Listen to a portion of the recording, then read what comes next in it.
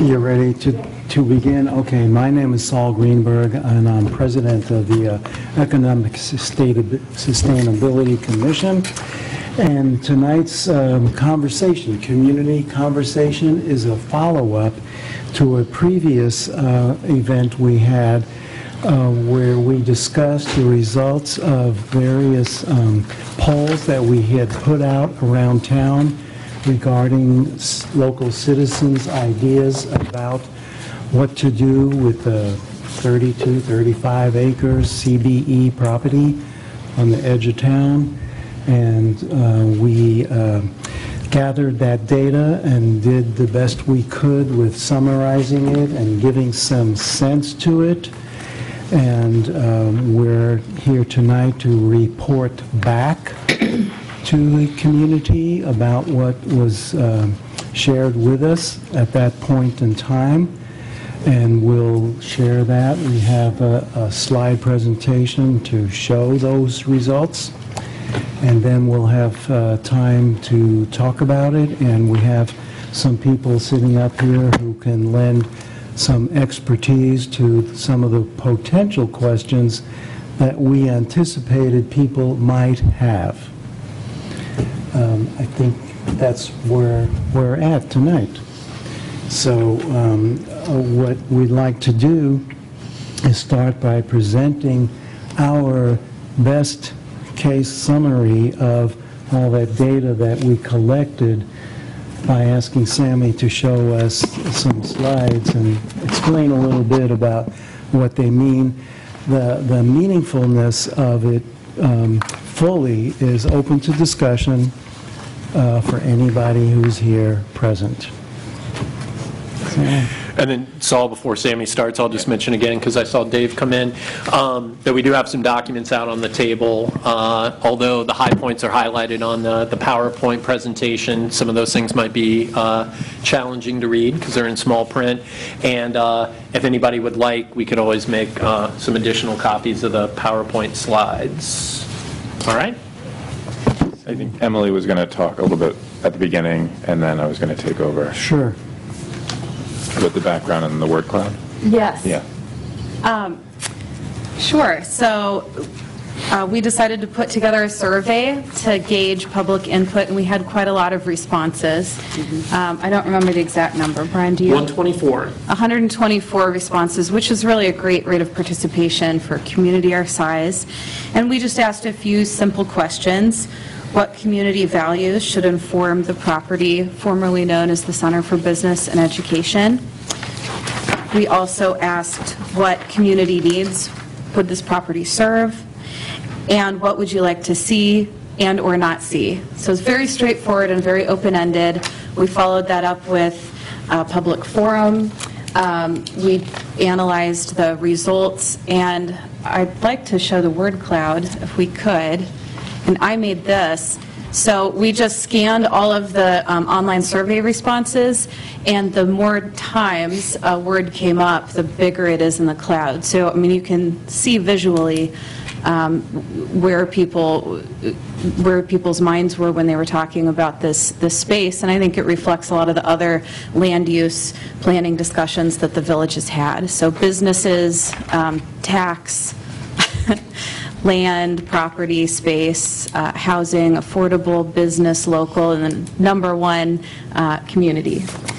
So I think it was, we tried to disperse the channel through, uh, the survey through social media channels. We also had written surveys available around town. Um, And I think I'm really pleased with the, the outcome and the rate of participation.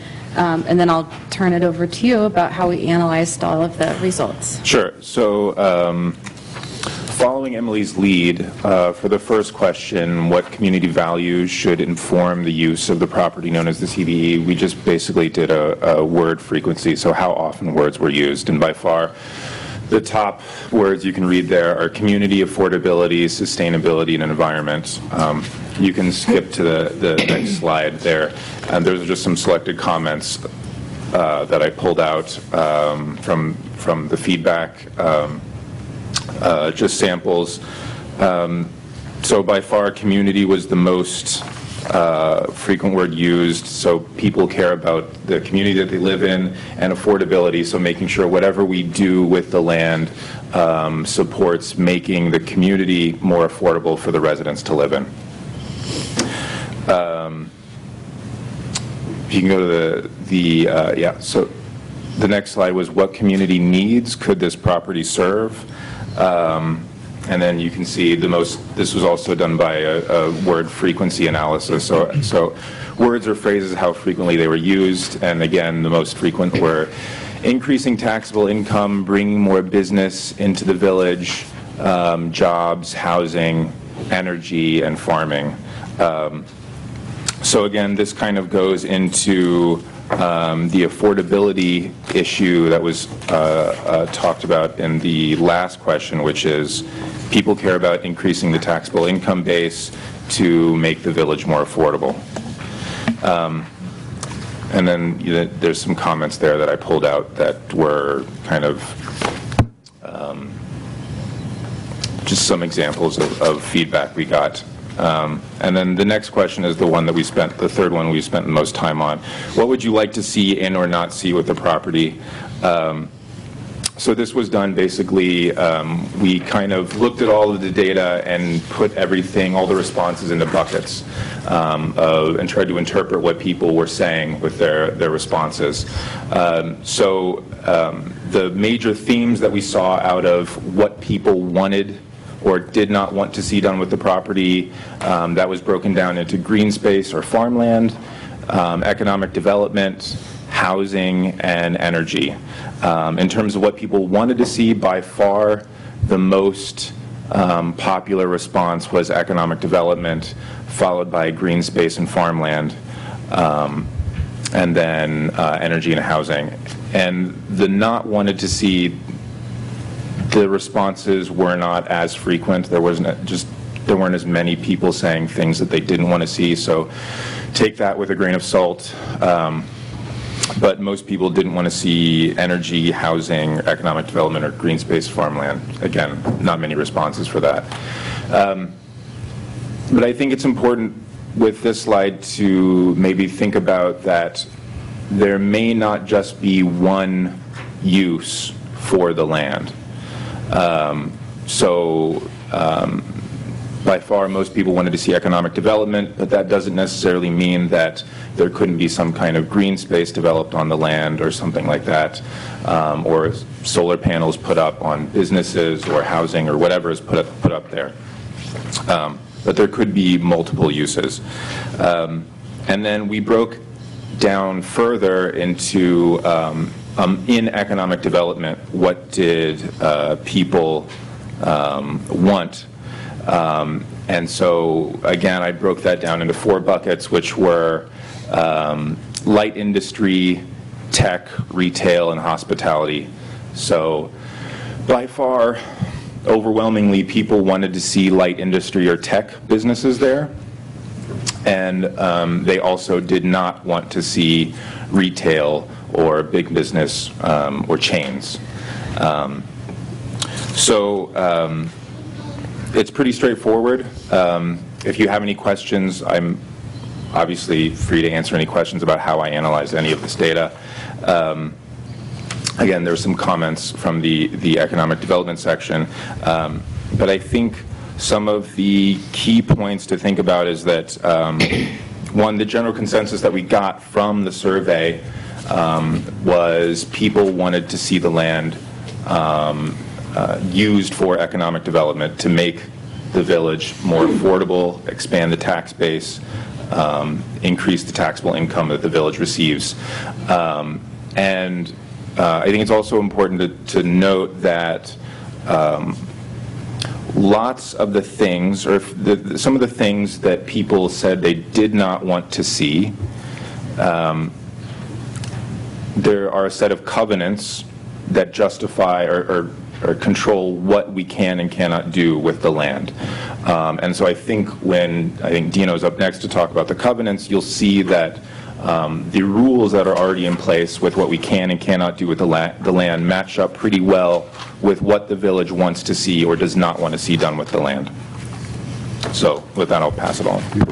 I'm going to add one, one more thing um, that I think is an important key point, is that some of the feedback that we got, um, the priorities were certainly competing. Um, Folks wanting green space, but addressing affordability.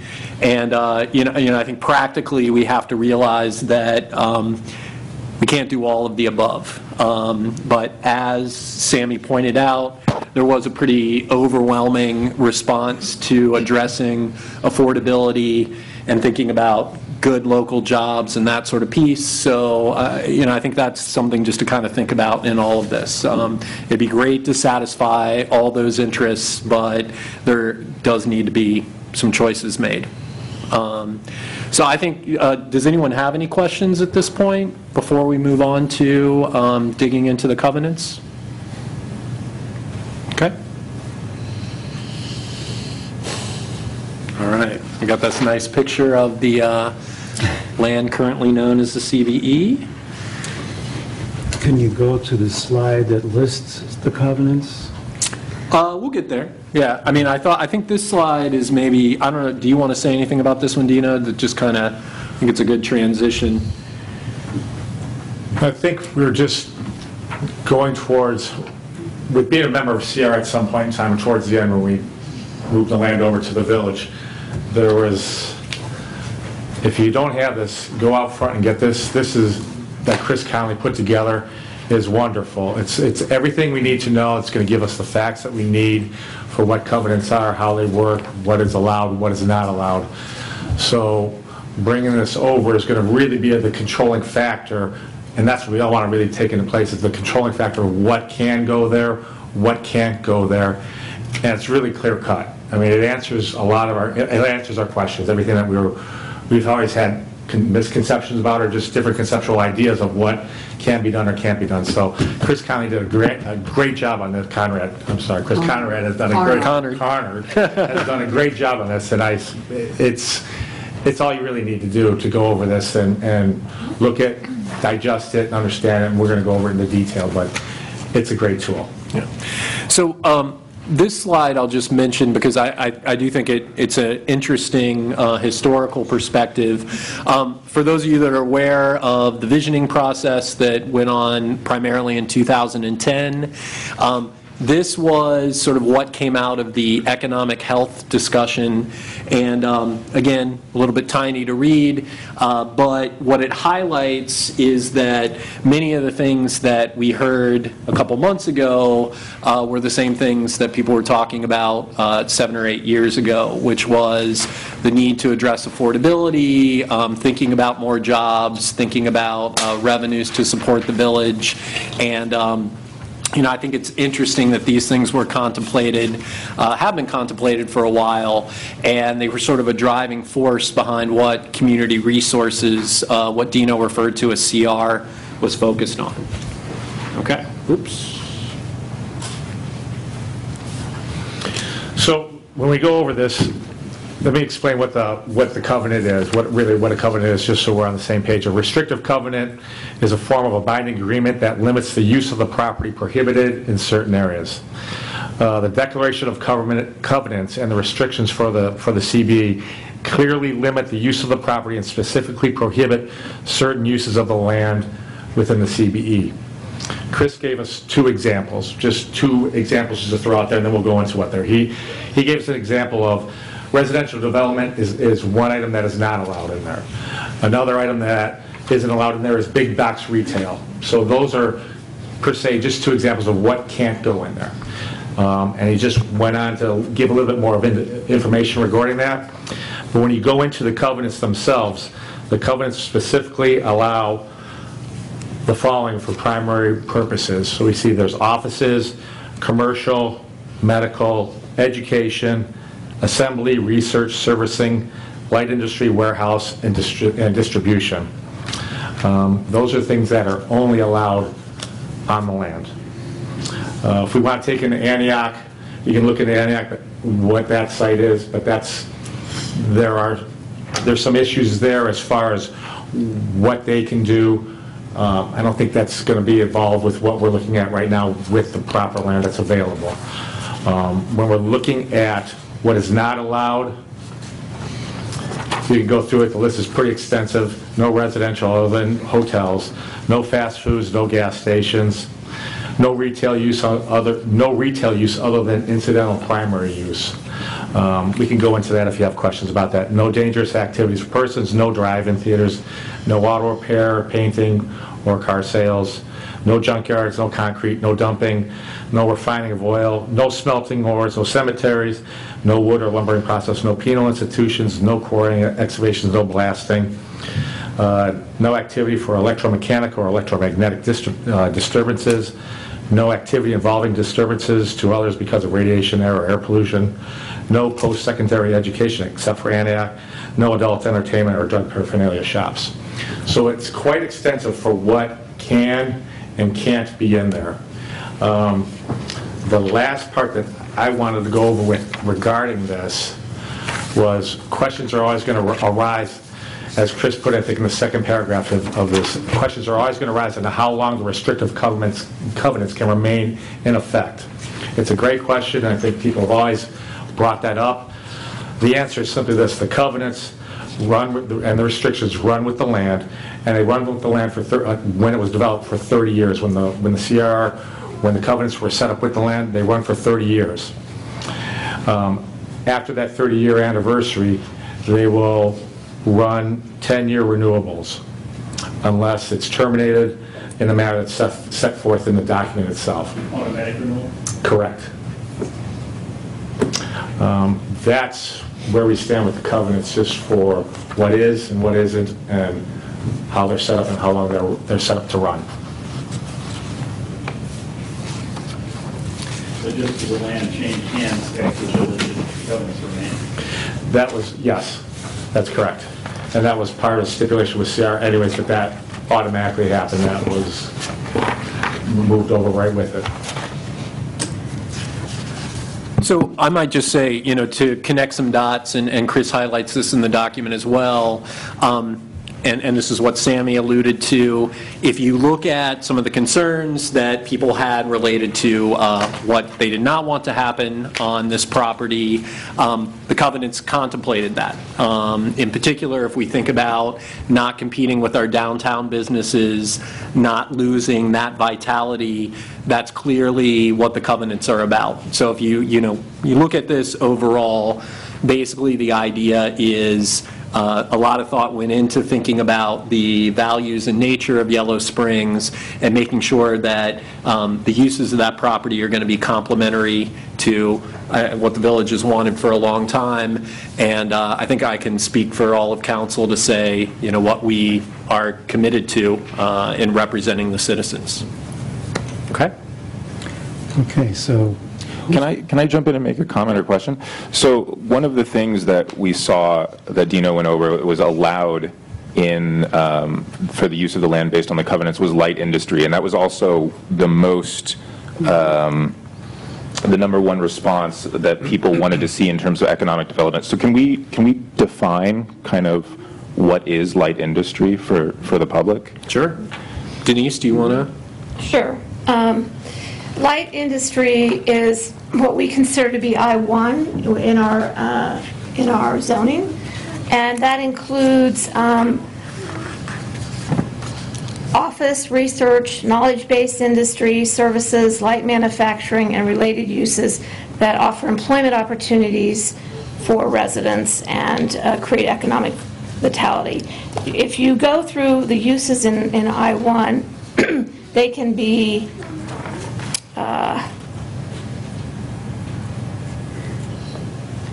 corporate offices, retail incidental to the manufacture or production of goods on the premises, which we were talking about earlier, um, outdoor um, uh, agribusinesses, breweries, uh, farm, food processing plants, greenhouse nurseries, commercial establishments such as business machines, glass, HVAC, but some of these things that are allowed in, in the I-1 may not be allowed in the based on the And the covenants.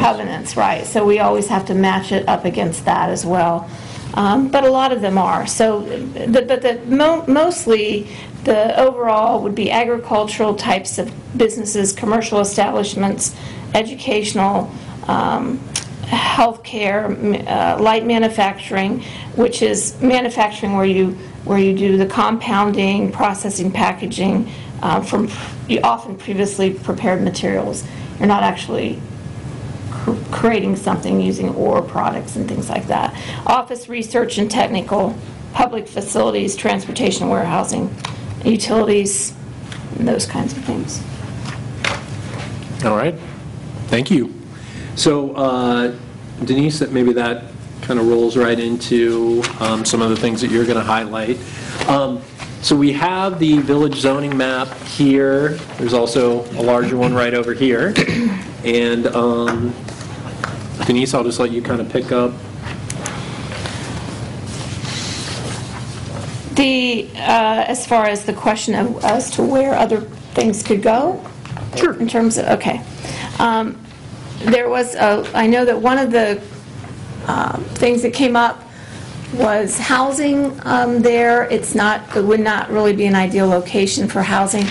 The, the situation that we have here in the community, and, and it's interesting, when I went back historically and looked, um, the uh, need for a commerce park, as they called it, back in the 80s and in the 90s and in the early 2000s, when it continually was revisited, was um,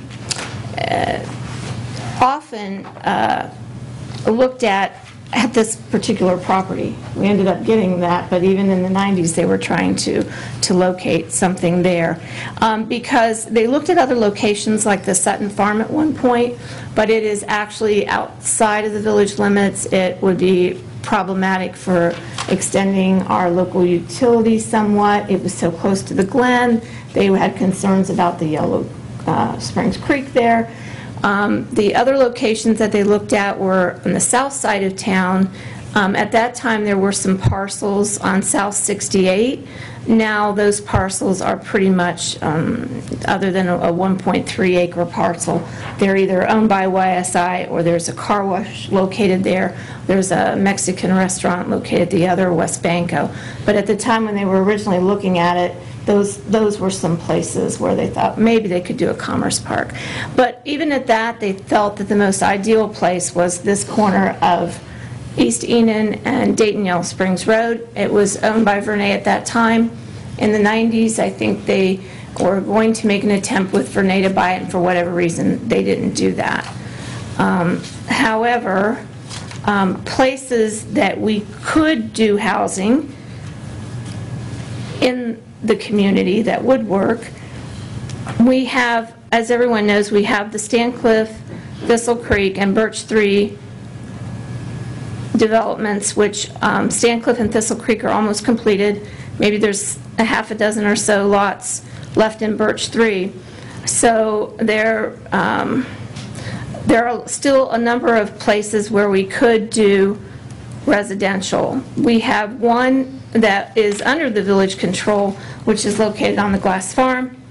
There is, uh, that's a 44-acre property. One section of it is conservation, another's for a solar array, but there's probably 20-plus acres there. There's another 22-plus acres, these are all privately owned, 22-plus acres off Wright Street, and as well as another 4.9 acres off Wright Street. There's another 2.5 off Union Street. There's several on Xenia Avenue. One's under option with Home Inc., um, but there's a half, a half an acre property and a, almost a three acre property that's privately owned. There's seven and a half acres on South High, and there's 19.7 acres off Dayton Street, which is currently owned by Vernay and is a bit problematic right now. So, you know, when you look at all that, that's another 60, 70 some acres that we do have available spread out that is within the village limits that could be, and often, in some cases, are zoned residential. There is also a property off of Southgate. If you go Southgate past Edgefield, it, and it ends, there's actually, if you go on the Greene County GIS, there had been a, area there that was platted for um, another development, and there's 13, it shows a road that doesn't exist, a paper street, and 13 uh, lots are there. Um, That's privately owned, in addition to a a 10 and a half acre property right across this, from where this paper road is, that is a PUD as well. So there's just a number of homes that we could build that are still within the village limits. Um, We've also had um, an increase since the zoning code in the um, minor subdivision of properties in the village. We've had like nine uh, lot splits, creating new, new lots. Um, We've also had probably in the last couple of years, this has been in the last couple of years, about nine, creation of nine new lots and about five accessory dwelling units. So, Thank you. And Denise, um, do you have any idea of what's the potential for, you know, I guess, total lot splits, or just sort of any idea of how? I don't, I don't have that. Okay, There are, I mean, when I was looking at- on, we might be able to get some of that information down the road with the help of regional planning, but in looking, there are some properties that you could do lot splits. They have to follow the, the guidelines for the, the amount of acreage or amount of lot coverage um, that's currently in the zoning code, but there are some properties that would, that you could possibly do that. Okay. But these, the, the 60, 70 acres that I'm talking about are, is acreage that is not, um, that is not uh, where there's a house, and you can then split off. This is raw land. Okay. So then how about uh, non-residential? So what do we have available? Nothing, just that, just that, on the south side of town, there's probably, um, there's, a- like I said, there's a, a little less than five acre lot that's currently owned by YSI, and a 1.3 acre lot. Okay. The uh, Vernay is, uh, that property there is across from 888 Dayton Street, which is owned by Vernay. You could, that is still considered, I think, industrial, or might be zoned. I don't know if they rezoned that. It's still, it's, it's still zoned I-1. Uh, Yeah, Okay, and what i- But, what is the but that status could of that? possibly be made into, I mean, you could rezone that to residential, and I did include that. You couldn't? no. And what is it, go ahead. The status of that property is that it's um, still in remediation. Um, The EPA is reviewing the, the final remediation plan, but that could take two years and the remedi, to review the plan, and then the remediation itself, the final remediation could take a decade or more. So there's no way to know at this point. Um, Yeah, I mean conceivably, it could be uh, developed as a brownfield where all of that is trucked out and back, but that would be fairly prohibitively expensive to do that. So, I don't know what, then it'd just be, end up being a green space? Uh, For, yeah, for now, Okay, so that leaves then 50-some acres that you could be residential. Denise, is there a way of estimating with those 50 acres, how many homes might, it it depends on what zones Depends on what, they're... yeah, it what depends on zones where they're at. in and- Yeah. is there a rough way of estimating? I mean, if they're in residential A, I mean, you could get up to six u- units per acre. Residential B, up to eight. Residential C, up to 14 6, 8, 14, per acre. so, so uh, a rough estimate could be calculated, very rough. Well, eight times, just go middle ground, eight times however many acres, Let's say 50. So 400. 400 new homes. But most of that land is not available. I mean, it's privately owned. Well, right. That's almost always going to be the case. Yeah. Okay. And um, really, since we brought up Vernay, um, any sense for an appetite for them to um, do something with that land? They haven't, we've contacted them with a couple of ideas, and they are not receptive to selling it or putting it to any other use right now. So two of the, two of the other, uh, I think, top areas that people brought up in the survey were renewable energy and green space or agricultural. Denise, do you, can you talk a little bit about where that's happening in other parts of the village? With what? Um, renewable energy and then agricultural or green space preservation?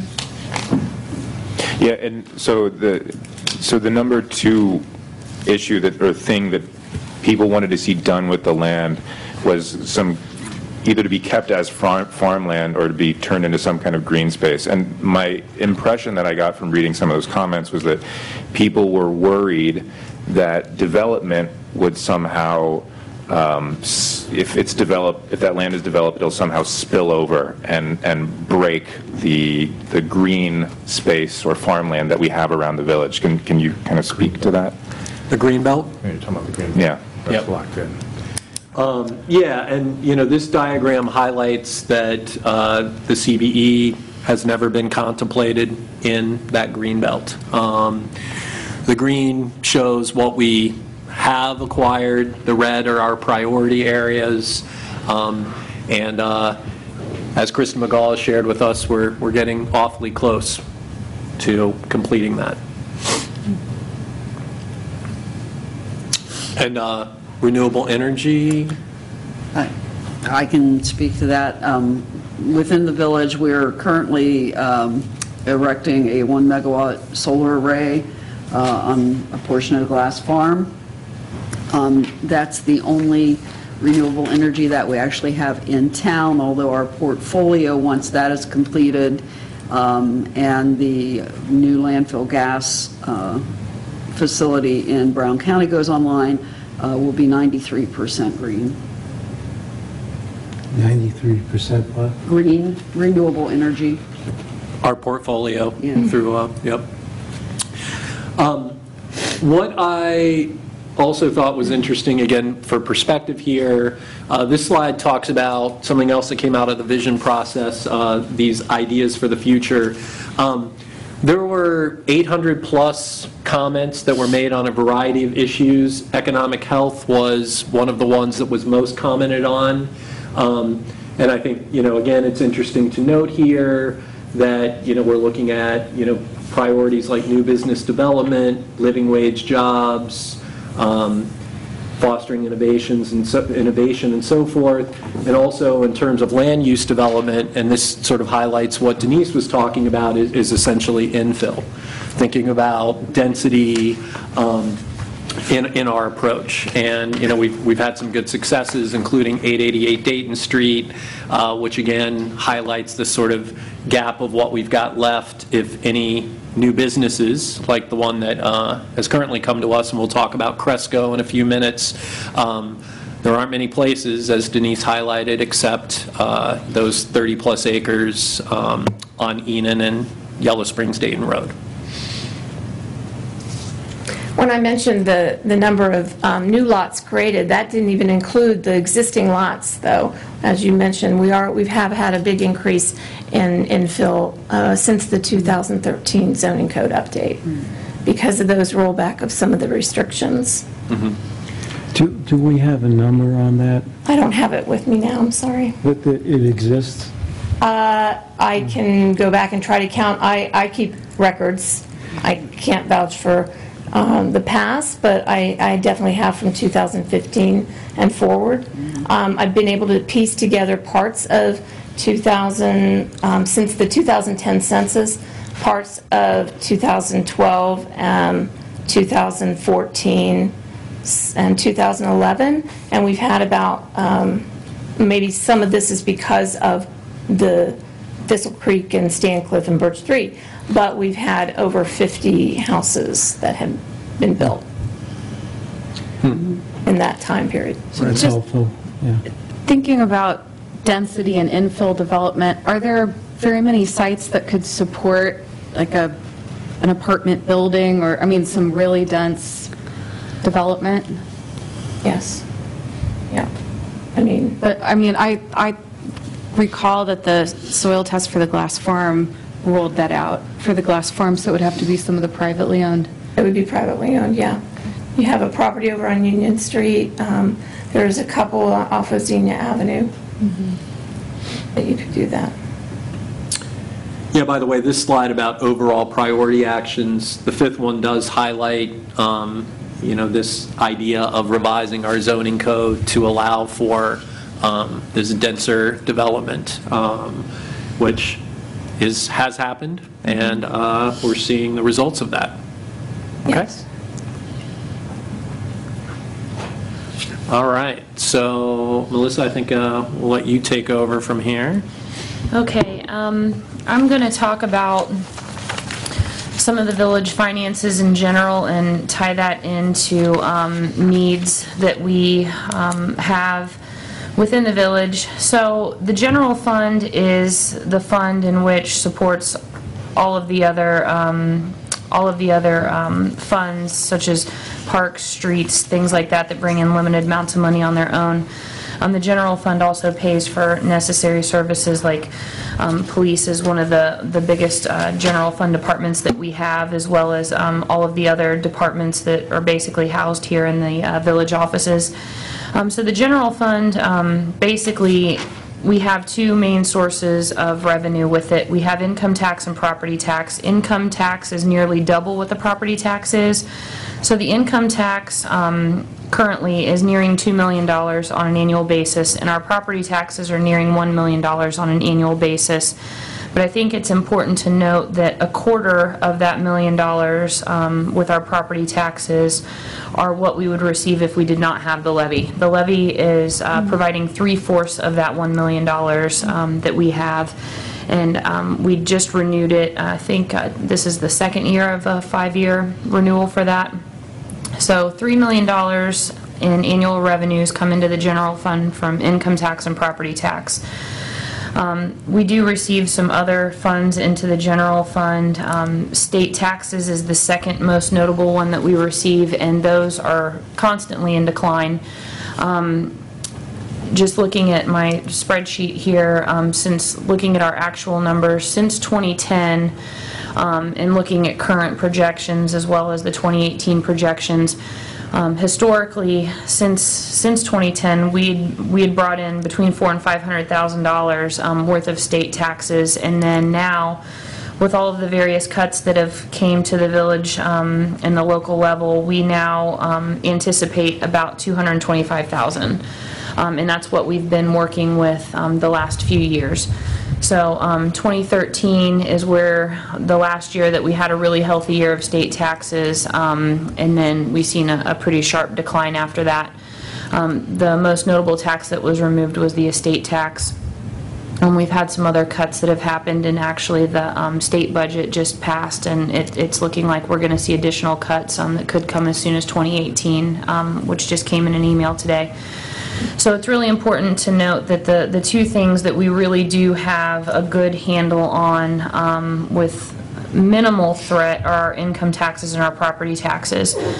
Um, If we look actually at the CBE property currently, um, there are about 30 acres that we are um, paying property taxes on now which we do pay a little bit of a break because it is currently um, agricultural, but since we do, it is note, um, I should note that we do pay property taxes because we rent out the property. So the village, although it's tax exempt, if we rent a property, then we have to pay property taxes on it. So we don't pay property taxes on all of our properties, but we do on the ones that we rent.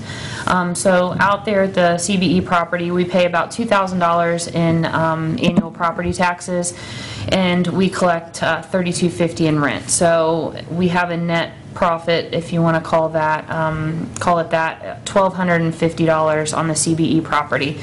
Um, I did um, create some scenarios, um, which would be worth looking at. Um, I'll actually pass these around.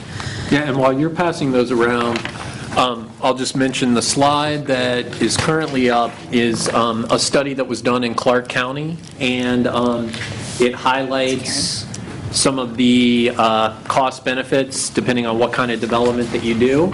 So the first uh, two bar graphs are um, basically highlighting the cost of residential. And what it shows is that um, basically for every dollar of revenue that you get from residential, uh, the expense is $1.11. So you essentially have a net loss if you develop residential. Um, The second one, industrial, commercial, and land use, you can see uh, the revenues, uh, you know, basically quite outweigh um, the costs, a dollar to 38 cents. And then the last one is agriculture. Um, Also, you get a pretty good return on. People that? Only you. That's an interesting strategy. We'll have to, suppose, think about that. All right. Um, Okay. By the way, nice little picture of Cresco. Um, Brian, do you want me to explain the handout that I just? Yeah. Okay. Um, So you have two sheets in front of you. Um, We'll start with the income tax scenarios because it's larger and easier to read. Um, I literally did this minutes before I walked up here um, in terms of the formatting and everything, printed it out. Income tax looked great, property tax is a bit small, so I apologize for that. Um, So the income tax scenarios that you see, um, this is at our current rate, which is a 1.5% rate. Um, I ran a couple of different scenarios um, based upon different numbers of employees. You'll see on the far left uh, column are the number of employees. And then I I ran it against, um, I ran my calculations against three different wages. I used the minimum wage, I used uh, middle of the road, $14 an hour, and then I used a $20 an hour wage. Um, So then that gives the next column, the annual salaries, annual payroll, and then um, to the far right are um, estimated income taxes that would come to the village, um, so the municipality um, alone. So this just gives a couple of different scenarios, just so you can see the impact on the village um, from a 20-employee operation, and this is for full-time, all the way up to a 100-employee operation with the different wages. So you can kind of plug and play some of those things, so it's just something for, uh, for uh, thought. The second page um, is property tax scenarios. This is um, something that I was provided uh, by the Greene County Auditor with, and basically, um, I just kind of played with different um, values based on appraisal values. Um, So again, this is just kind of food for thought and plug and play again. So um, the top left um, is a $10 million appraised value, and then I ran it down um, all the way to a $1.5 million appraised value. And then I, um, you'll see the different uh, taxes that each entity would receive. The county's broken to, broken down into like 10 different things that um, their taxes actually go towards, but I kind of minimize that for discussion purposes. Um, But I did highlight Yellow Spring Schools and uh, the village, so that would show um, approximately what we might receive in property taxes from um, properties of completely different values, from 10 million down to 1.5 million. So um, there's some things on like I said, income tax, property tax, just to think about, since those are the two largest uh, sources of revenue that the village uh, receives that are notable. So that's pretty much all I prepared. If do your- anybody has any questions? Yeah, do your projections include the levy? The, I mean, the current levy? This is, no, this is just as it stands right now. So I did not project any changes to any levies or anything Okay. like that. This is as it stands today, all the projections. And so Melissa, do you want to just, uh, maybe to wrap up, apply this to the the Cresco, I guess, more Yes, real um, example? If you, if you look at the uh, property tax scenarios, in the middle on the left, there's a $6.3 million appraised value. Um, That was, that was gleaned from a presentation that they had given us um, early on. So those uh, impact figures on, in that table are ones that uh, would be more uh, realistic in terms of what Cresco could be providing the village if they are able to build out what they say that they are going to be building out. So that would be almost $100,000 to the schools and um, $25,000 uh, to the village. And then if we look at the income tax scenario page, they, um, they are estimating between uh, 60 and 70 employees, and the average salary for them, um, for those employees was going to be approximately $40,000. So if you look at the table where it's 60 employees, and if you look at that bottom line, uh, $20 an hour wage, which is uh, close to that estimation. Uh, The income tax provided to the village um, would be $37,000 approximately. And then, so Melissa, I do want to clarify, so related to Emily's question, um, you know, this 25,000 for property tax, um, that is, that is including the three quarters that we get with the levy? That's our current situation with our current levy. Right. Correct. Okay. So that could be reduced dramatically without that? By three-fourths. Oh, all right.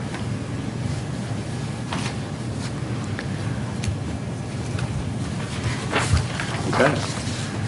And uh, some other uh, visuals on uh, Cresco Labs, uh, which we strongly think is going to be a reality uh, as opposed to a hypothetical. Um, But I think as uh, Melissa's numbers highlight, uh, as we get in a few more businesses, it could have a huge impact on affordability.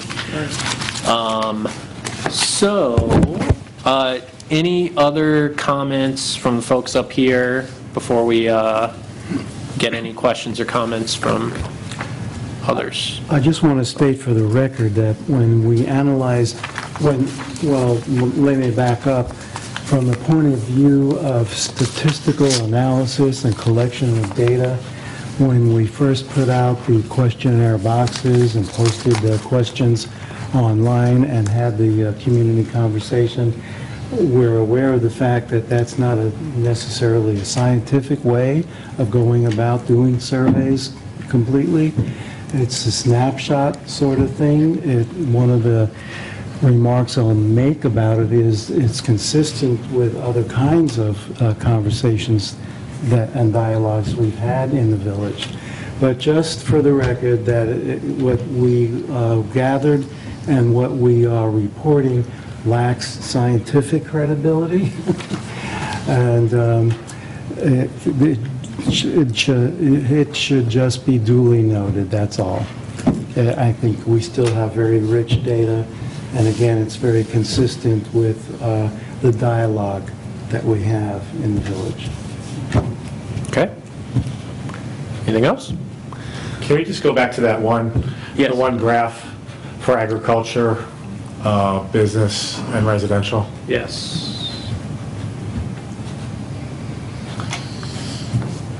I just want to point out this, t- for, for my purposes, it looks like this is really a good graph for us to all grab a hold of and look at, just to see where our benefits, what we're trying to do and where we're trying to go as far as getting business or agriculture, or getting your bang for your buck. We we need residential, we understand that. It's costing you money for residential, where our potential on the business side or agricultural side is huge. It's a huge opportunity, and it's one that I think this tool right here explains it, puts it right out for us to say, that's where we need to go if we want to be affordable, if we're looking for other ways to bring in tax dollars into the village. This tool right here speaks for itself. Yeah, I think the other thing that's uh, important to point out on this is that while, you know, the bang for your buck is slightly better with agriculture, the numbers are a lot different. And Melissa's example of, you know, getting what, 1,250 a year from that property, uh, when you compare that to, you know, what happens when you put a $6.5 million facility with 65 employees on eight acres of that property, huge difference. So, you know, there is this sort of comparative, you know, analysis, but you also have to think about total numbers. And so that's where, you know, at the end of the day, light industrial is certainly going to mean more bang. And I think, as you said, too, the multiplier effect is that's just one business. Right. Exactly. Once you get two or three that are locating there exponentially. Okay, um, so uh, if there are any questions or comments, we do have the mic, and, uh, you got it? Okay. Yeah. Uh, She can't pick you up on that. Okay. Sorry. Now then, I guess, uh, my question would be, um, my name is Quinn Jilson, and uh, I hail from Montana, where we did medical marijuana a number of years ago, and I have a couple of observations that I'm should share just because, well, uh, this is, it- there were growing pains. There definitely were. Um, But it's, it's a totally different market, smaller providers, everything from uh, people having their plants lifted to armed robbery, the whole thing. The dispensaries came with a lot of baggage. But it's, I'm actually not, you know, tilting towards that necessarily. What I am concerned about is, have we shopped to any of the other companies? Or has it just been Cresco? Do you want to Okay? answer that? Because the thing is, is that they're not the only player, and the revenue that these businesses generate is enormous. And so I think it would behoove us to perhaps add some competition to the mix, because when they're talking about doing, you know, a six and a half million dollar plant, they can write that check twice a day. That is how much money this makes. And also, you have to understand, what's the, the joke around here about uh, meds, feds, and eds? Or the, you know, the Miami Valley? Well, this, okay, they want a friendly community to come to, and we're definitely friendly. Um, And sympathetic to their product. Okay, and I don't need to elaborate why Yellow Springs might be like that, but it is. Um, But the thing is, is that also having the medical activities and the medical culture of the Miami Valley is incredibly, uh, it's a draw for them. They get a whole bunch of win. And I would hope that down the road, we don't say, oh, well, we plugged a, you know, we plugged a fiscal hole, but we really didn't know how much money they were going to be pulling out of this operation, because we're special. We're you know, we, we uh, are sympathetic to their product, um, and it's in the perfect place to provide it. Okay, and and that goes with transportation, um, a decent, underused airport, cheap housing, okay, comparatively to other places that they can be. And so I would caution and say perhaps it's time to get on the phone to some folks in Colorado because they've done it differently and well. They did it after Montana. They had much fewer problems than, than Montana did. And Montana, really, it only took a couple of years before they worked the kinks out. Um, But yeah, for a state with less than a million people, you would not believe the amount of revenue that is generated by that particular industry. And the folks who were most against it uh, were my redneck brethren, okay? But hey, as soon as they started seeing the, the budgets of little communities uh, start to bounce back, they were more than happy. So anyway, that's my piece. Um, I'll answer that. Um, I'm Karen Wintrow, I'm the president of council, and I've been working um, with a lot of our staff and Brian with um, Cresco closely. Um, The the proposal was submitted yesterday to the Department of Commerce. The deadline for the proposals is Friday. So um, it's past time um, to actually be talking to anyone else. Um, Cresco approached us about, um, I think about the middle of May, and uh, we did some research on them. Um, At about the same time, another company actually did approach us also. Um, What we learned about Cresco is that uh, they already had three facilities in Illinois. Um, They got the top three scores in Illinois when they submitted their proposals. They just submitted a proposal in Pennsylvania. They got the second highest score out of 12 in Pennsylvania.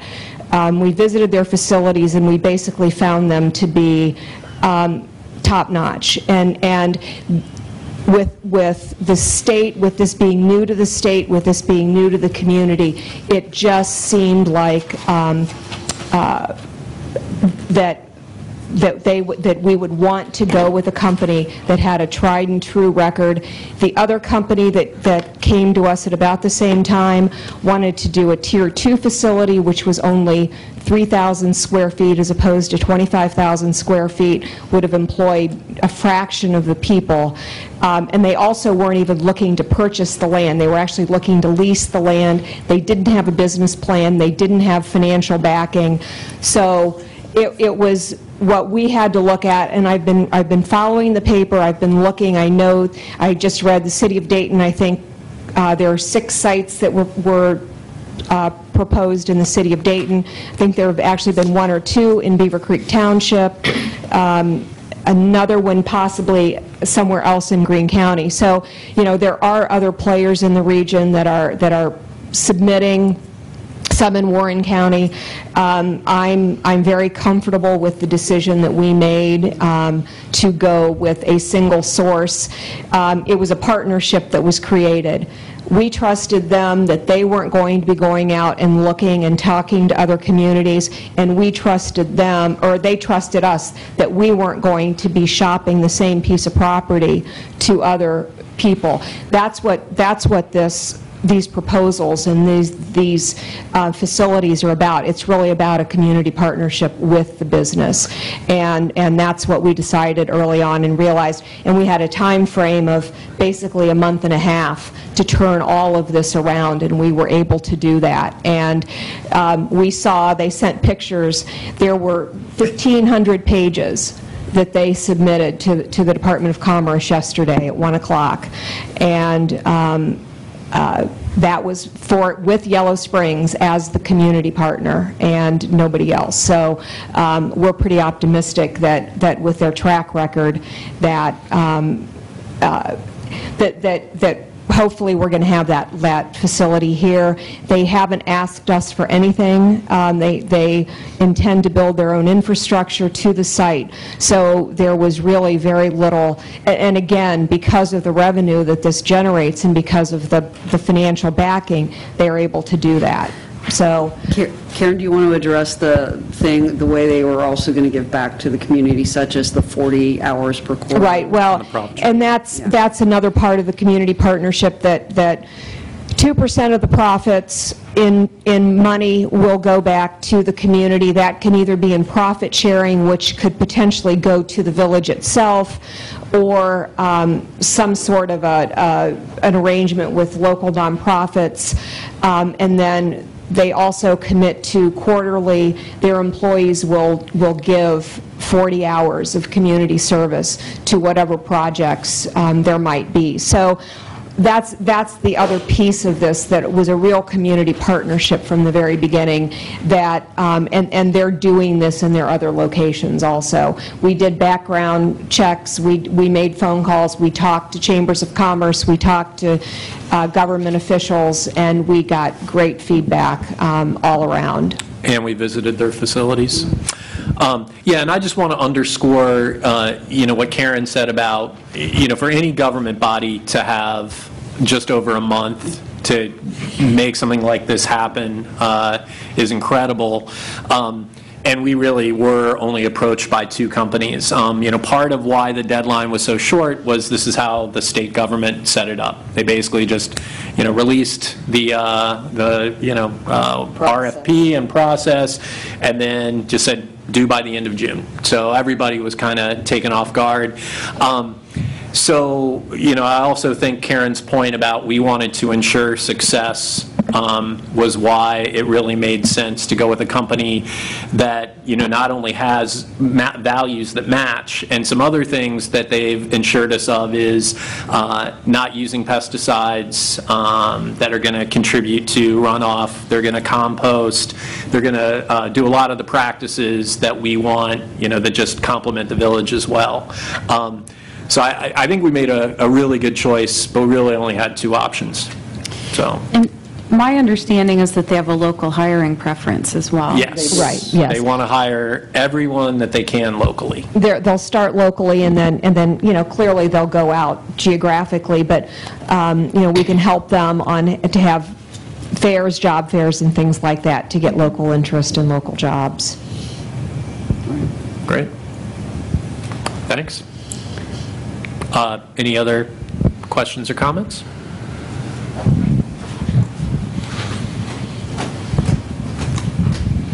Yeah, it seems to be that you're, I thought this was just about CB, but it sounds like you're talking about the village and development of houses and industry.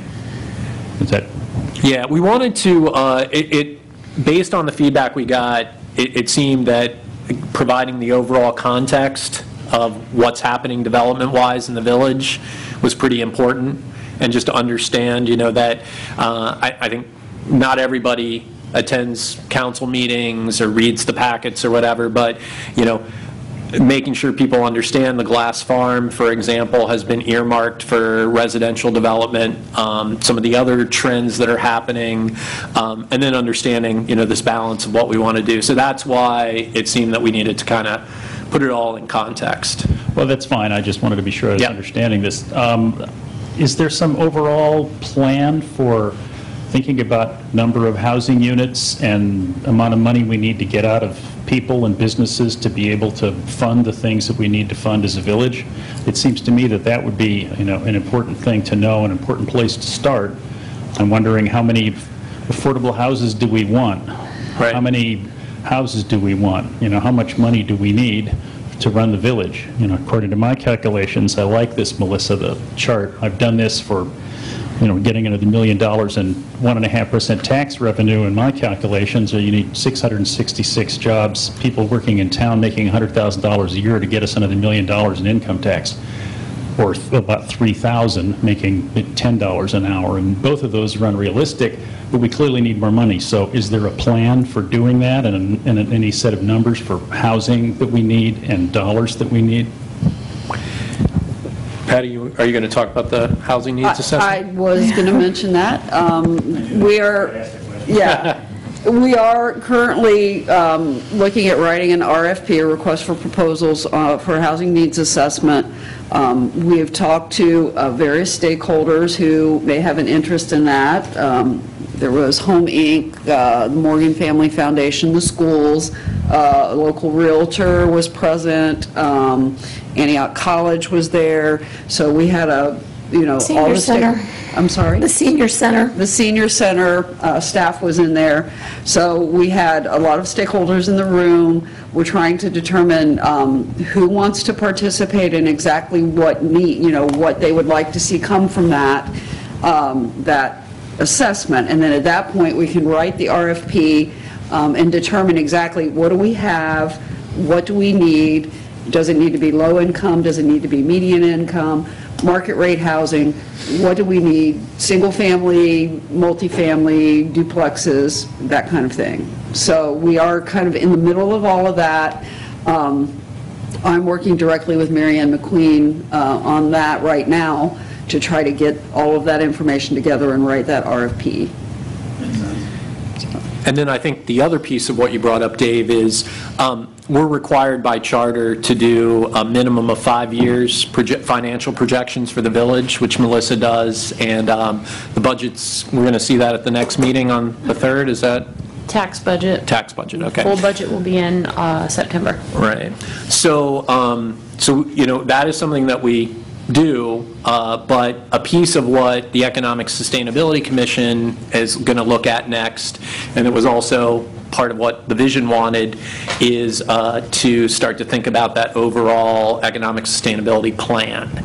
And um, the housing needs assessment is a big piece of that um, understanding, you know, what it takes to run the village and, you know, guarantee that we have the services that people want is a piece of that.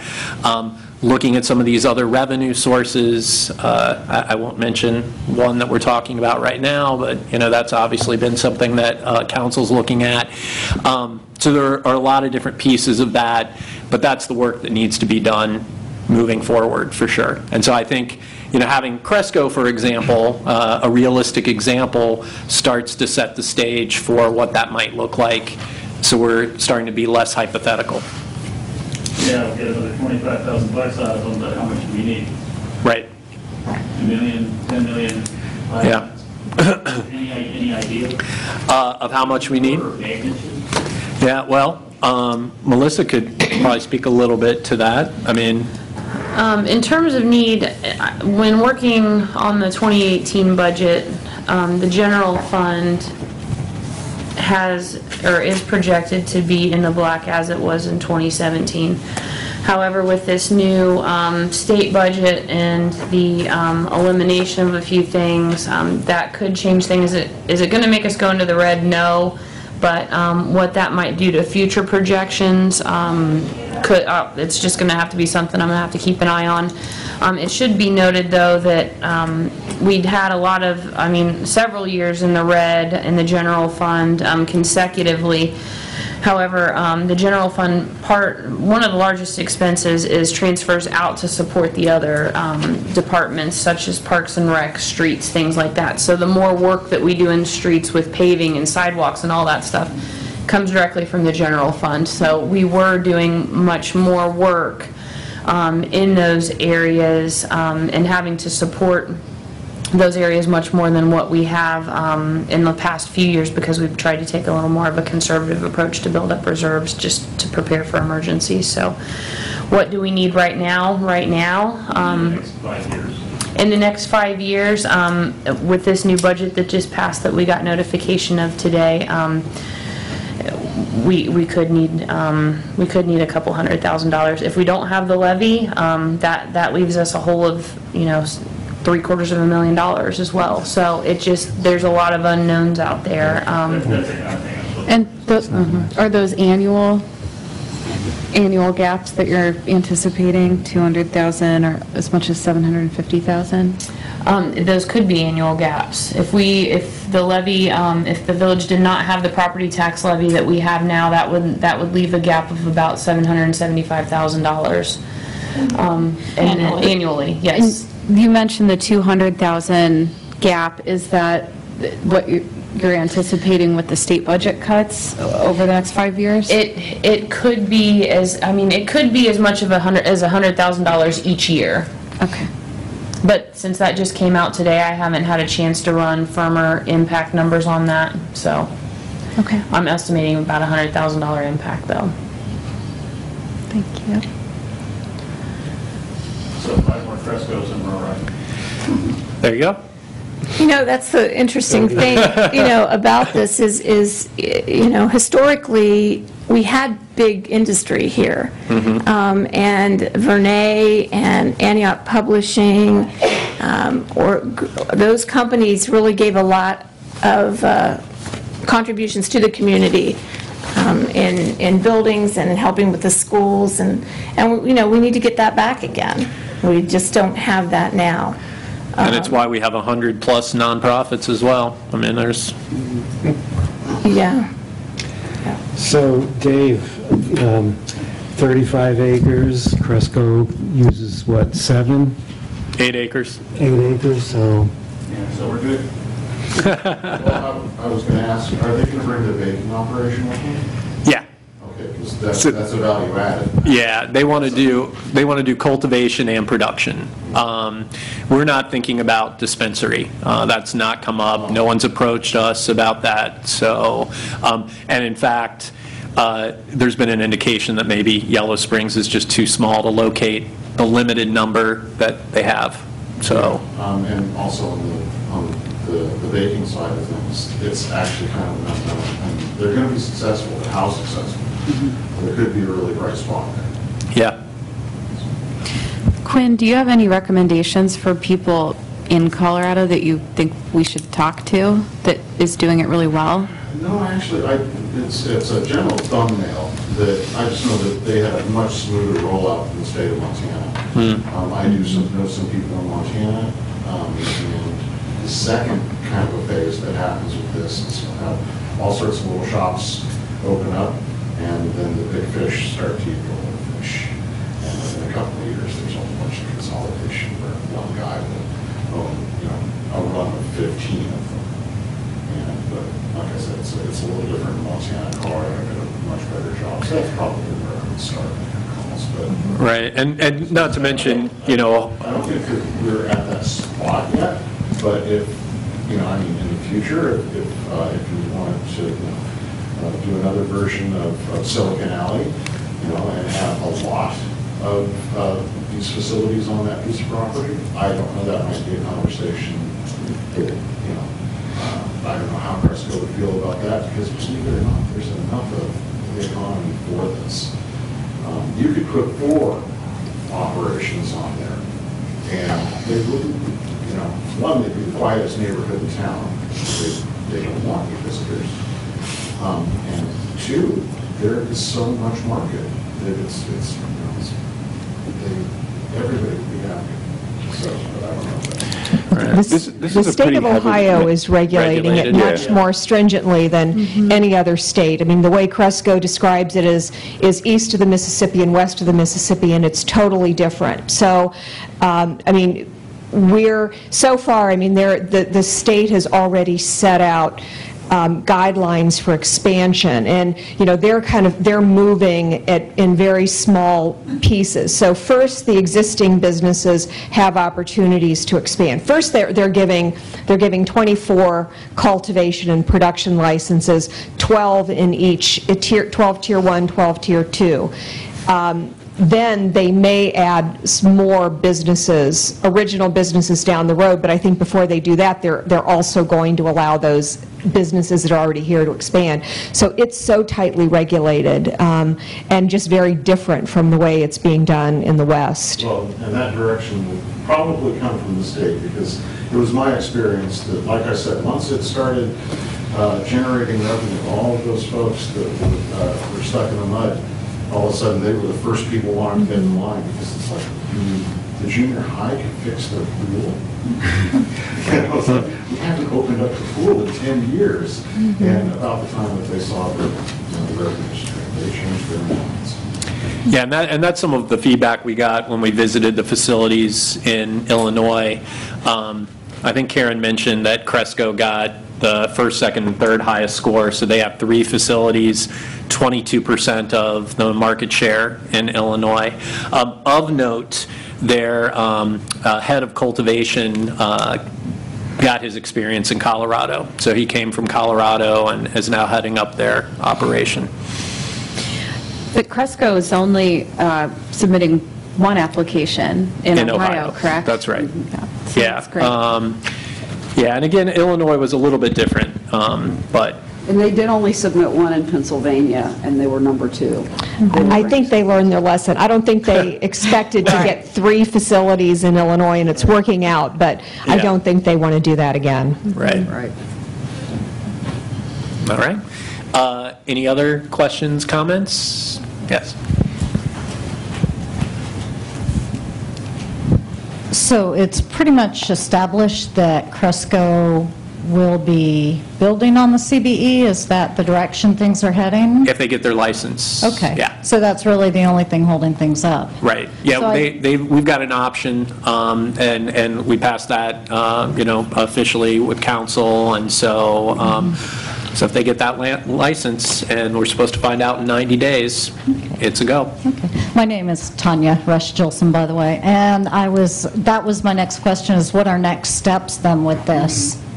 So, um, license and then, Uh, Their timeline is to um, build as, be done with the facility as, as soon as five months, no later than eight months, and dispensaries go online uh, next September.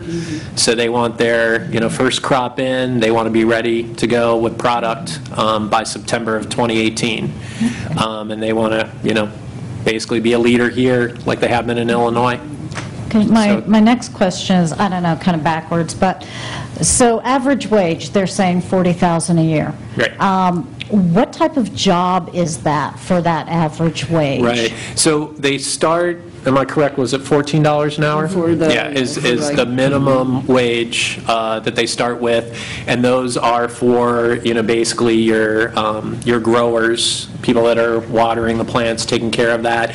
And then they have six-figure jobs, um, you know, the, the head of cultivation, they have to have um, somebody in the lab um, that, you know, understands all the chemistry. Um, They're talking about a community engagement officer to facilitate um, that profit-sharing piece and also the 40 hours per employee per quarter.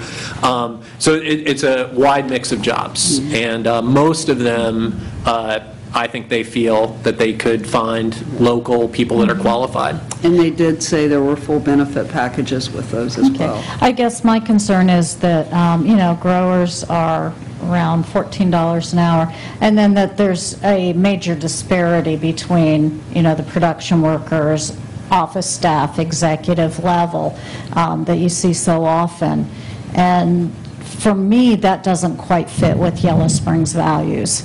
So um, some equity in salary, I think, would be an important concept.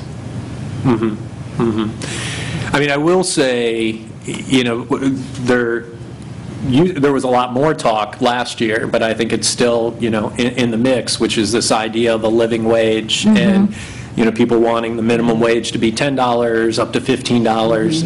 And I mean, 40,000 is nothing to sneeze Yeah. at. And especially if you can bike to work. Right. It's a Right. fantastic opportunity, but I guess what I don't want to see is local people stuck on the production level and bringing people in for the lab, for the bakery, you know, for the higher skill positions, and not seeing maybe like a, um, a path upward for local people.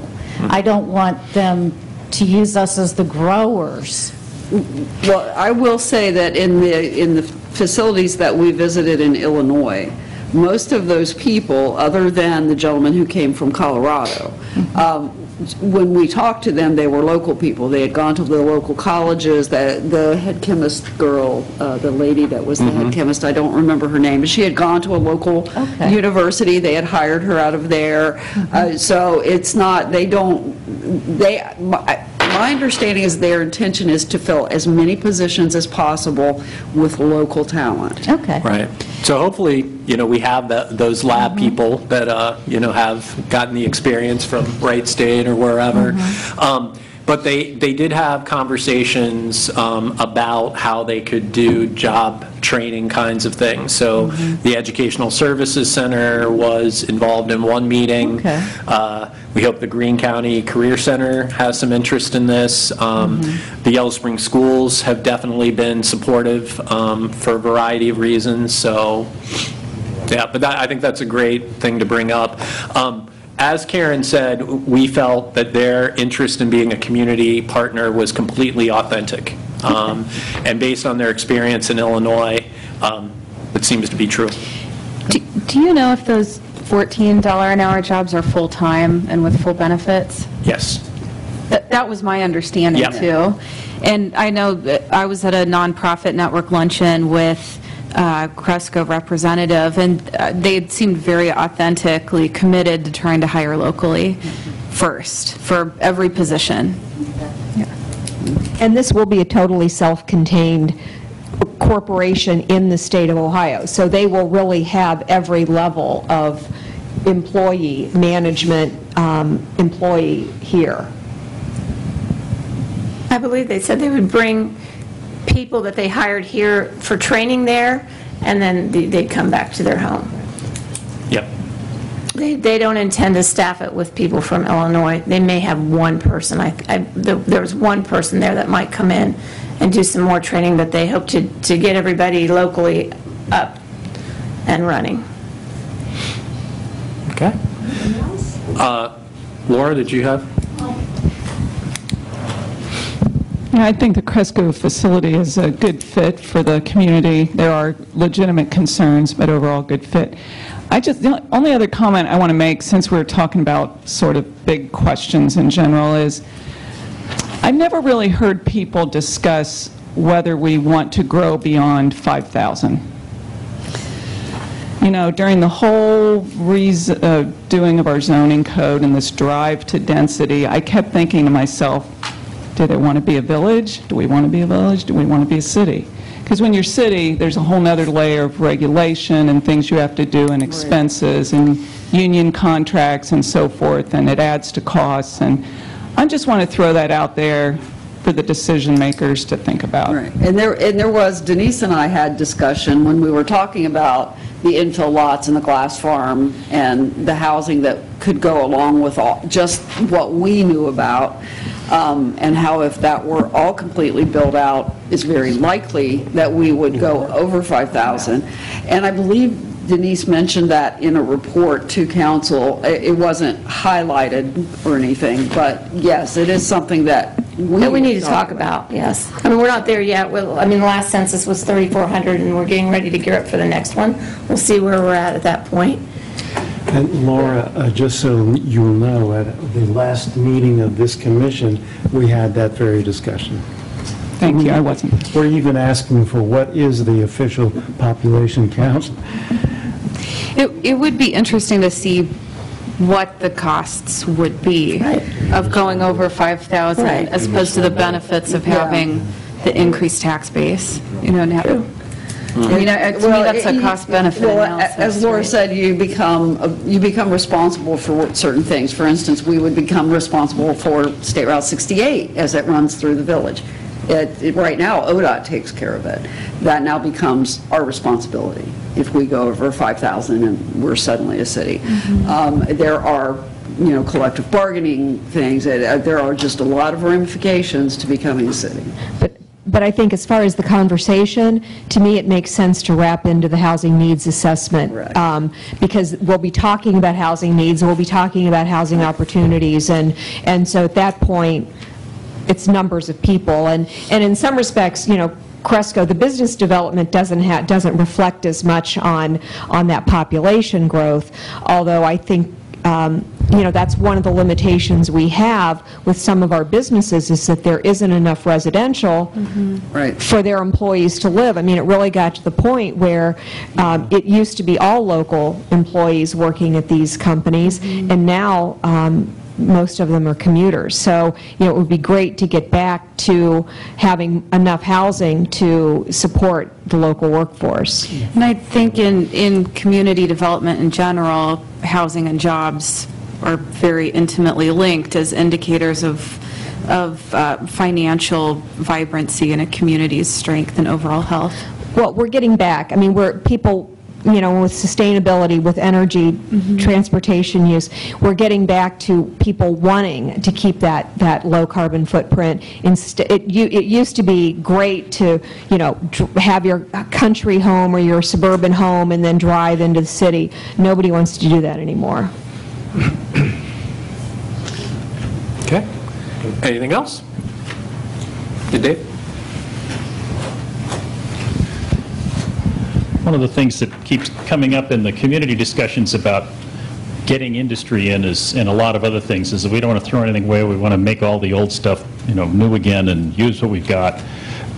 It seems to me that in- during these, it would be appropriate to figure out what to do with this and then stop talking about some of these things. And that's one of them, knowing what the infrastructure that exists in town is, people say, oh, there are all these buildings, so therefore, we don't need to build any new, we can just use the old. I'm sure that the new businesses need new buildings and telephone lines that are modern and internet and connections and things like that. If in your course of doing this sort of planning and evaluation, you were able to say, here's what we have, and it doesn't match up with what we want, might be able to forestall some of those conversations. You're you're suggesting what? How many buildings are available? What kind of buildings are, when somebody says, well, what about all these buildings at Antioch and all these magical places? Knowing what kind of buildings are available, what the infrastructure that's in them is, and being able to match that up with the kind of industry that we want and don't want, to be able to, and also to be able to say to, to people when marketing ourselves, hey, you should come here, we have this building and it's all ready to move into, or don't bother looking at that building, it's not what, it doesn't have what you need, but you need to know what we have before you can have those, make those statements. Yeah, Well, I was going to say, an- an example of what, you know, I think Dave would be referring to is office space. And, you know, that's always a challenge to find quality office space in town. Um, And so, you know, I, I think, Dave, one of the things that, now that the village owns the property, and uh, talking about the CBE, and, and, you know, we're getting some of these ducks in a row, um, some marketing of what we've got in the context of the covenants and what we want will certainly be out there. So, uh, I mean, I think that's a good point. And I think also, I mean, the, the reason that, this- one of the reasons the CBE came about in the first place was because we were going through these years of losing businesses that had grown beyond their capacity, or the capacity of the spaces they were in. For example, there's a local company called, or a company actually now in Fairborn called LaserLink that was in the space where House of Ohm was. And it was an industrial, a little industrial company. He needed more space there was no space available in Yellow Springs, so he moved to Fairborn. The same thing happened with at least a couple of other companies. There was another local gentleman who wanted to build a a uh, a robotics company here in Yellow Springs and was not welcomed to do that. So he put his business in Xenia. So what happened when, um, and we, we, we do a lot of that, um, when, when uh, um, uh, eHealth Data, who was over at Millworks, was, they were going to leave, they were going to go up to Springfield. We worked, Sarah Wildman and myself worked very hard to try to find them space. We talked to Antioch College, and this was right after they, they reopened. They just didn't have the bandwidth to be able to handle it. We finally were able to um, get uh, the folks from, from Antioch Publishing, Creative Memories, to talk about repurposing that space. So they were able to, to lease out, they were willing to lease out some of the space at the Antioch Publishing Building, and then thankfully that turned over and has turned into to the Dayton Mailing Service. The only other building I know of, or that we knew of a while ago, was the bowling alley. That was snapped up, it wasn't even on the market um, Yellow Springs Brewery needed a facility for their canning operation. They bought that. They went to the owner of the building and said, will you please sell us this building? So, I mean, there, there literally is not, people think that there is, but there isn't. Um, There are not available buildings. I That's mean, my, that's my sense, too. Right. The discussion frequently is, well, we ought to, if magic happened, then we get lots Right. of money. But you know, that, that, that situation there, Karen, too, that was, that was one of putting a Band-Aid on it, because we could have lost Yell Springs Brewery.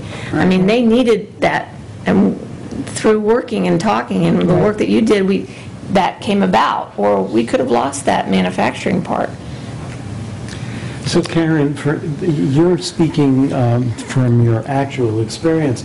Do we have, for marketing purposes going forward, in writing what we actually have available or don't, and then maybe to give us an idea of what we might look at, hopefully to develop?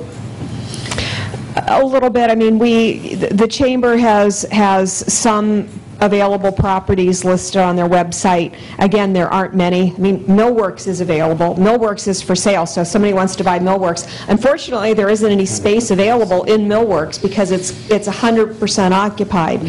Um, You know, and, and as far as marketing and, and putting things together for the CBE, that just hadn't been done because the community, the community was not, it, we hadn't had this community conversation. We hadn't had a commitment from council or a commitment to move forward for that to be commercial development. That's going to be an incredible opportunity um, to, to market that property.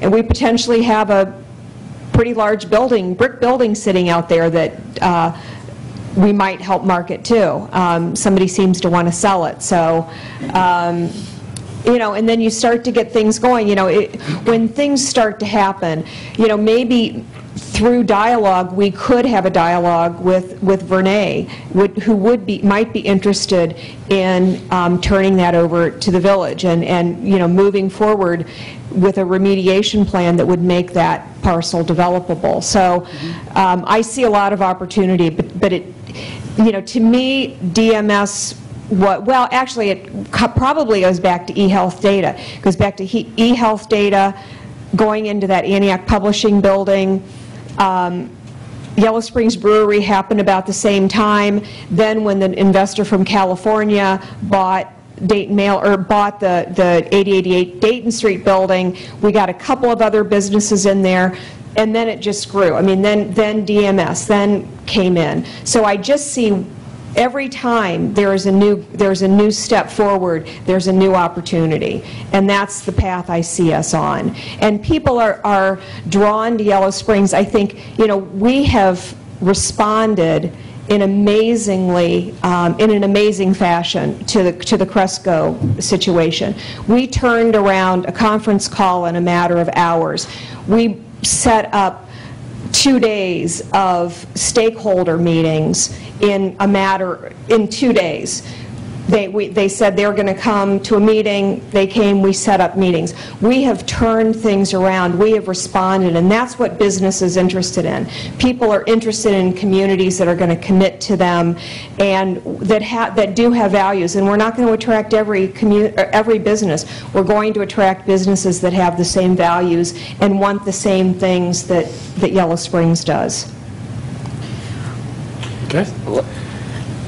Emily? I, I was just, I mean, what occurs to me during this discussion, and Dave, I thought you had such a good idea, uh, but it almost sounds like we need a business needs assessment in addition to a housing needs assessment as part of the um, economic sustainability plan.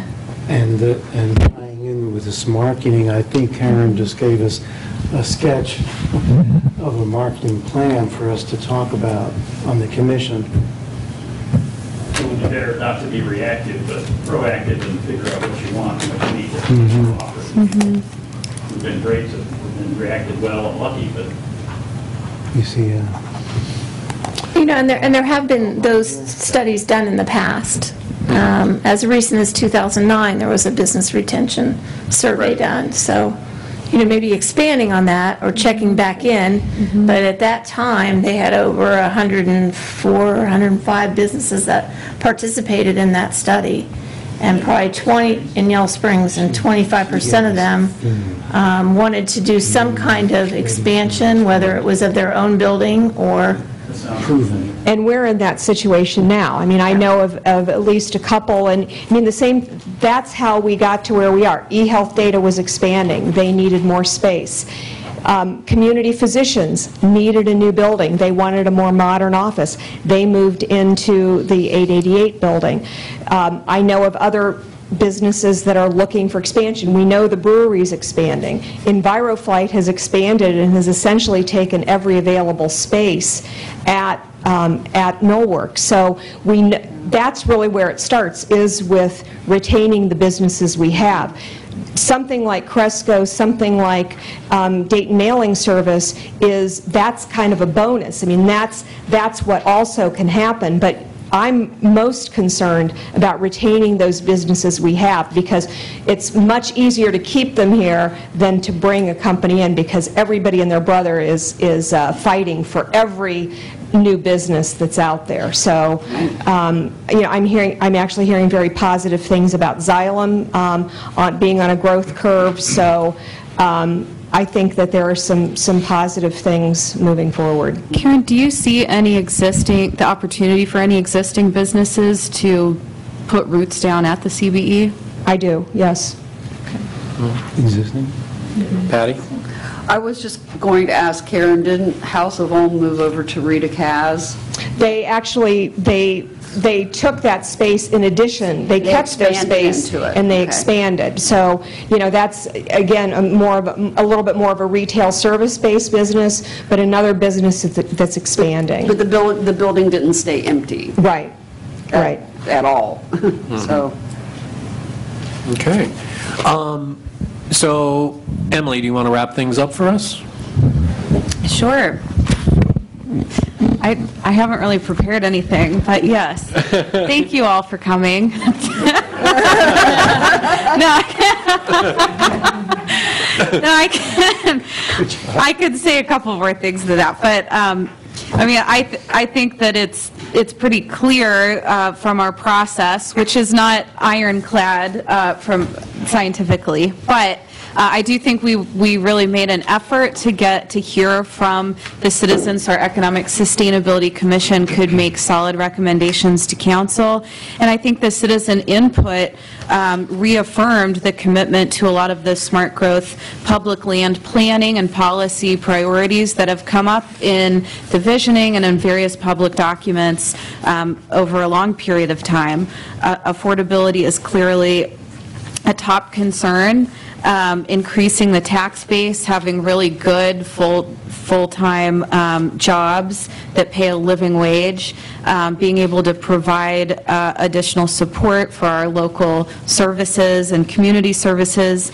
And then uh, I think it indicated other, it- and sort of reiterated the commitment to some of the other um, areas and priorities for council to explore, including, you know, supporting uh, smart planning around green space and agriculture, um, as well as affordable housing and uh, renewable energy, um, just looking comprehensively. But it, but it sounds like, uh, certainly from the citizen input, that the top priorities were um, light industry and, and tech companies. And so Cresco uh, is clearly in line with that. Um, And uh, we, looking to the future, I, I think that the Economic Sustainability and Council certainly have a lot of um, great citizen input to work with. So thank you all for coming. Yes. And, uh, and this is a little bit backwards, but I do want to make sure that anyone that here doesn't know, and also for the video, uh, who's actually sitting in front of you. So members of the Economic Sustainability Commission, actually Luciana Leaf is our secretary uh, there in the back. Yay! Yes, we love Lou. And uh, Sammy Saber, uh, Saber, excuse me, as well as um, Saul Greenberg, who's the chair. Uh, Dino Pilata is uh, part of the commission. Karen and I are, and Emily, of course, Emily Seibel. Um, uh, Two members that are not here are Henry Myers and uh, Susan Jennings. Karen and I are council liaisons for the commission. So anyone that's interested in, you know, kind of coming to meetings. We meet the first Wednesday of every month um, from 7 to 8:30, but you can also talk to us offline. And then um, Melissa Dodd is our Assistant Village Manager and Finance Director. Denise Swinger is our Planning and Zoning Administrator. Um, We've got Patty Bates, who is our wonderful Village Manager, and uh, I think that covers everybody. And Susan? Oh, and Susan Gardner, of course, yes. Making sure that this gets online. Um, Okay, so with that, I think we are adjourned. Thanks for coming, and uh, this will probably wrap up our CBE conversations. So, thank you. Thank you. Thank you.